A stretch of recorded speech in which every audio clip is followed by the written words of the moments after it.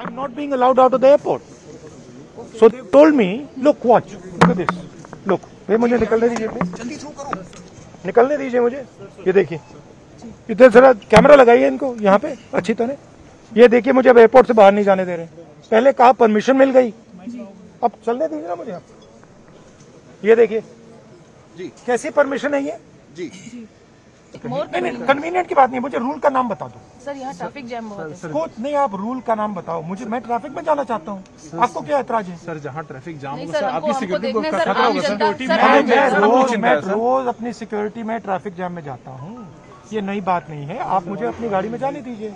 Sir आम जनता आम जनता आम जनता को minimum sir please sir sir please मान जाइए sir sir sir please sir please sir please मान जाइए सर आम जनता को मिनिमम सर प्लीज़ कमाल की बात। सर प्लीज़ सर मान जाइए सर सर आपके लिए पूरी व्यवस्था कराइए सर। वीआईपी हैंगर से पूरी गाड़ियाँ आपकी व्यवस्था चाहता ही नहीं हूँ। सर सर मैं अपनी गाड़ी में जाना चाहता हूँ। हमें अरेस्ट करके अपनी गाड़ी में ही रखना नहीं नहीं सर चाहते नहीं नहीं सर वो आपकी आप अपनी सही नहीं सर तो हमें गाड़ी क्यों दे रहे हैं? गाड़ी है सर आपकी आपकी गाड़ी है सर। आपकी की गाड़ियाँ लगी है सर आपकी सिक्योरिटी से बात के नाम पे ट्रैप मत लो। सर सर नहीं सर सर सीरियसली बता रहे सर। सुबह से सर ट्रैफ़िक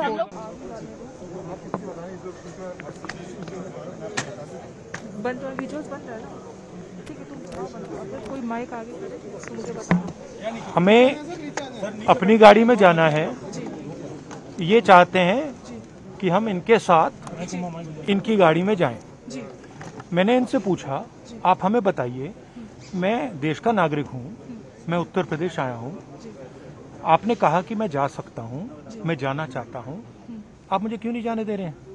पहले इन्होंने मुझे बोला कि आप अपनी गाड़ी में जा सकते हैं। ठीक है? अब बोल रहे हैं कि नहीं अब आप पुलिस की गाड़ी में जाएँगे। आपको लगता है कि कोई ट्रैप है? ये जानबूझ के ज़रूर। किया जा रहा है? सेंट परसेंट सेंट परसेंट ये कुछ ना कुछ बदमाशी कर रहे हैं। तो क्या आपको लगता है ये अपनी गाड़ी में बिठा के आपको कहीं ले जाएँगे और उस जगह पे मुझे नहीं ले क्या जाएँगे? मुझे क्या मालूम? मुझे मैं तो मैं तो लखीमपुर खैरी जाना चाहता हूँ।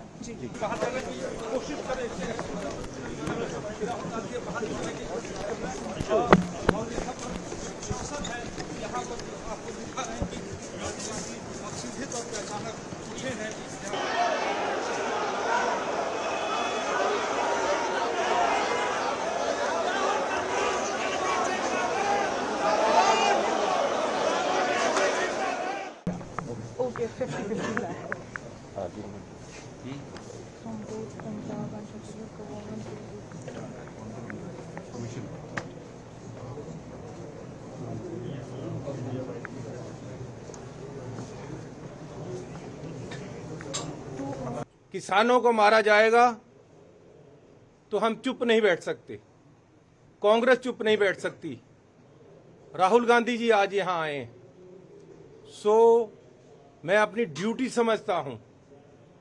राहुल गांधी जी से चर्चा की है कि जो किसान जिनको कातलाना हमला करके मारा गया है जो शहीद हुए हैं उनके साथ उनके परिवार के साथ हम खड़े हों। सो मैं पंजाब सरकार की तरफ़ से जो मारे गए हैं उनके परिवारों को 50 लाख रुपया पर फैमिली इंक्लूडिंग पत्रकार जिनको मारा गया है, इन सब लोगों को 50 लाख रुपए पर फैमिली हम पंजाब सरकार की तरफ़ से देंगे।